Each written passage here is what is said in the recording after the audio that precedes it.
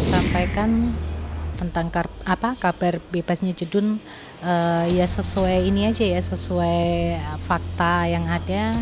Karena yang saya tahu vonis uh, di pengadilan negeri Jennifer Dan mm, empat 4 tahun ya vonis pengadilan negeri 4 tahun. Dia ngajukan banding uh, dan vonis banding itu uh, 10 bulan. Jadi kalau kita hitung mundur ke belakang dari mulai dia uh, penangkapan tanggal 31 Desember 2017 maju ke depan lagi sampai bulan ini uh, bulan Oktober berarti pas 10 bulan. Jadi ya kalau menurut saya wajar kalau dia uh, bulan ini dinyatakan bebas keluar dari penjara itu wajar menurut saya. Satu berkas, satu berkas karena ada runtutannya.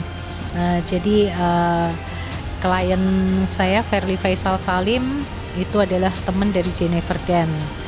Teman dan mereka sama-sama pemakai. Jadi di sini ada Jennifer Dan ada Raditya ada Verly Faisal Salim. Klien saya difonis 6 tahun